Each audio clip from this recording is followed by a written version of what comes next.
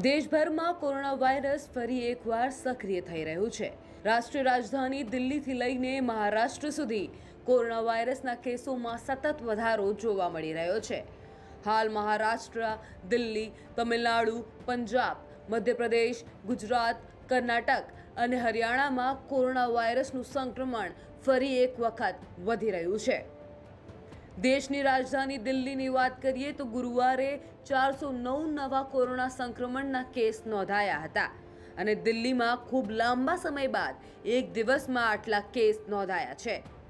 ત્યારે ગુજરાતના પાડોશી રાજ્ય મહારાષ્ટ્રની વાત કરીએ તો વધતા કોરોના કેસને ધ્યાનમાં રાખીને ઉદ્ધવ સરકાર મહત્વના પગલાં લેવાની તૈયારીઓ કરી રહી છે.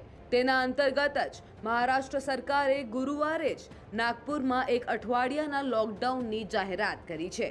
આપણે જણાવી દઈએ કે ગુરુવારે સ્વાસ્થ્ય મંત્રાલયે કહ્યું હતું કે મહારાષ્ટ્ર, કેરળ, પંજાબ, કર્ણાટક, ગુજરાત અને તમિલનાડુથી સતત કોરોનાના કેસ સામે આવી રહ્યા છે અને છેલ્લા ચોવીસ કલાકમાં સામે આવેલા કેસમાંથી છ રાજ્યોમાં પિચ્યાસી દશમલવ નવ એક ટકા છે. દિલ્હીથી ઈશા માલવીનો અહેવાલ ગુજરાત તક.